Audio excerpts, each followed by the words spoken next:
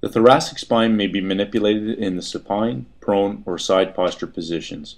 The prone posture is the most commonly used. In this position, we apply contacts over the transverse processes of the thoracic vertebra and apply pressure directly on that fulcrum.